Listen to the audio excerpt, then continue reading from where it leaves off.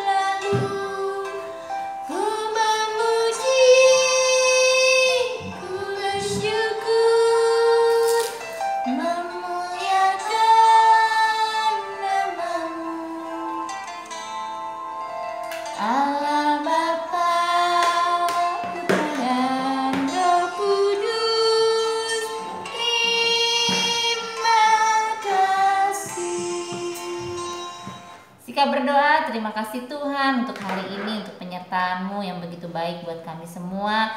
Mari Tuhan, Kau juga menemani kami dan kami belajar, berikan kami kepintaran, kesungguhan, dengar-dengaran, dan minat yang sangat tinggi untuk belajar sehingga Tuhan, uh, Tuhan kami semakin dipintarkan oleh kuasa kasih-Mu Tuhan, Engkau memberikan kami anak-anak yang sekarang belajar kepintaran lebih lagi Tuhan. Terima kasih Yesus dan sekali berdoa. Haleluya.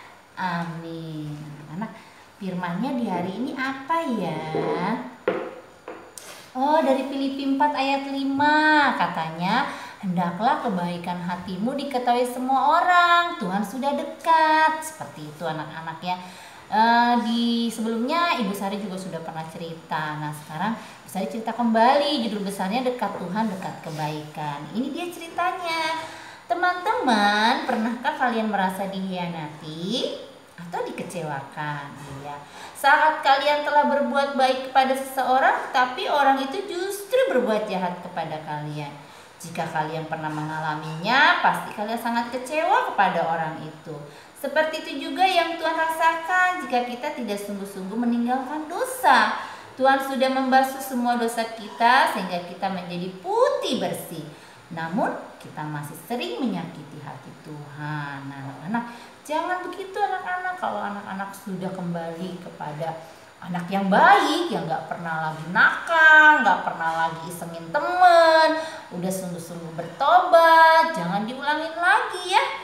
Benar, sungguh-sungguh dalam Tuhan. Tuhan sudah senang, jangan lagi buat Tuhan itu sedih anak-anak ya. Nah anak-anak sekarang itulah yang Tuhan mau buat kalian ya. Yuk kita lihat apa kegiatan kita di hari ini. Hari ini sayangnya adalah air, api, dan udara. Apa saja ya alat-alatnya?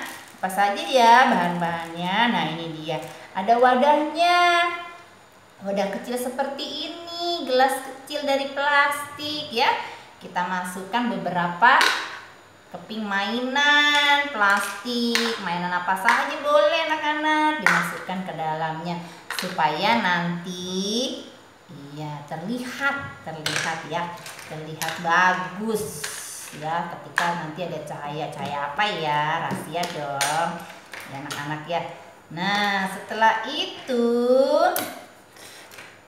ya setelah itu apalagi ini udah dimasukin. Kita masukkan air. Masukkan apa anak-anak Iya dimasukkan air nih ya airnya nih kita masukin nih. Nah, ting ting ting ting ting ting. Bu.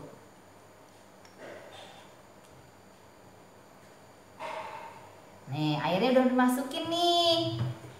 Nah, bentar ya, ibu ini ambil minyak goreng dulu ya anak-anak ya. Nih airnya udah dimasukkan nih. Tuh, udah dimasukkan ke dalam. Terus apa lagi ya Ibu Sari? Ada lagi lah. Tunggu dulu, penasaran ya. Penasaran pastinya. Kita dekatkan ke sini ya. Nah, ini dia anak-anak nih. Tadi wadahnya sudah dimasukkan air, sudah dimasukkan kepingan mainan. Kepingan mainannya seperti apa saja boleh. Nah, kita benarkan dulu letaknya. Nanti buat taruh apa ya? Sesuatu dong. Anak-anak perhatikan apa saja bahan-bahannya. Nanti Bu Sari tanya lagi kepada anak-anak. Nih, kita masukkan air. Minyak.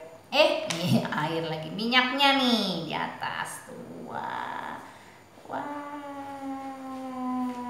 Apa yang terjadi? Apa yang terjadi ya setelah minyaknya dimasukkan? Belum ada cotton bud. Ini ujungnya digunting.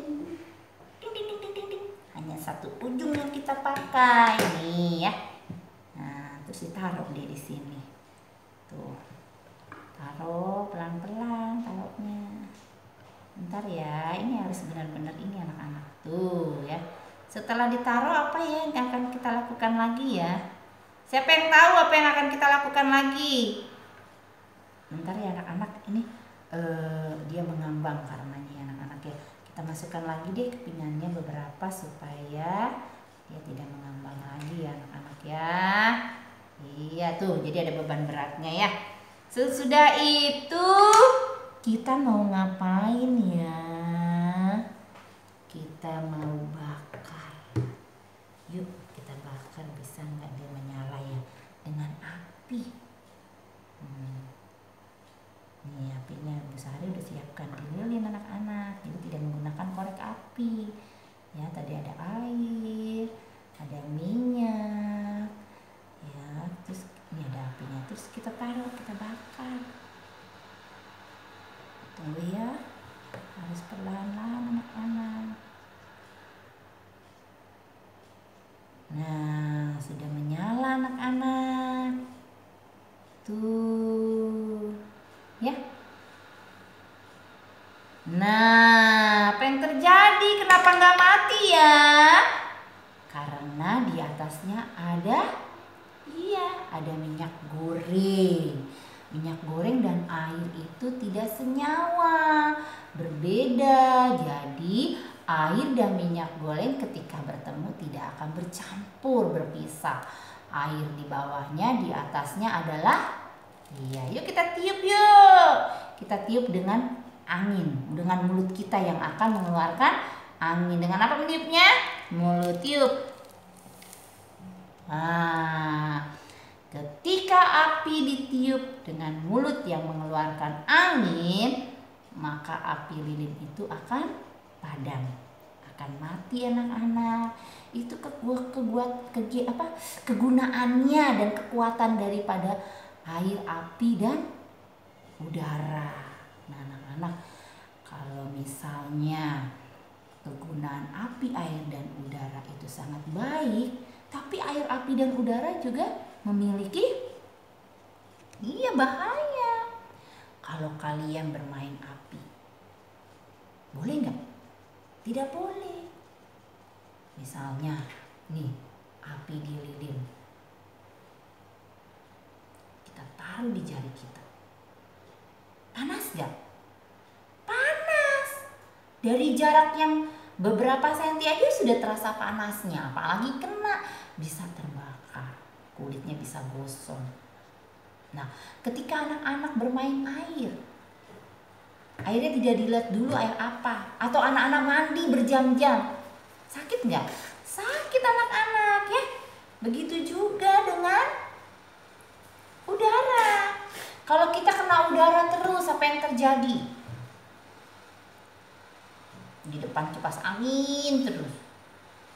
Iya, badan kita akan terasa ngilu, terasa panas dan demam nantinya nanti malam ya.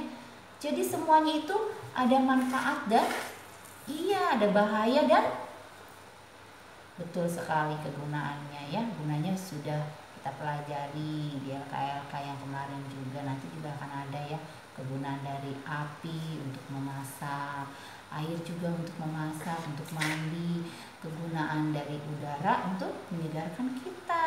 Hmm, atau mengeringkan pakaian. Kalau pakaian dijemur maminya nggak ada udara atau nggak ada panas aduh. Mm-mm. udara untuk bernapas. Tuh, seperti Bu Indah bilang bernapas ya anak-anaknya. Gitu ya bernapas ya anak-anak ya. Iya nah anak-anak. Seperti tadi juga coba anak-anak hembuskan dari mulut keluar apa. Iya udara ya itulah tugas kita di hari ini anak-anak ya tadi ada apa saja Iya, ada wadahnya, tempatnya anak-anak bisa praktekkan di rumah. Ada keping-kepingan puzzle atau anak-anak kalau punya kancing-kancing yang banyak boleh dimasukkan. Ada air di bawahnya, jangan lupa air dulu. Baru minyak goreng di atasnya ya. Sampai tertutup ya anak-anak ya. Oke anak-anak, itulah tugas kita. Tugas anak-anak di rumah adalah nanti kapan Bisari dan Bu Linda akan video call kepada anak-anak. Nanti anak-anak iya anak-anak menceritakan kembali sains air api dan udara di hari ini. Oke? Itu tugas kalian. Tuhan Yesus memberkati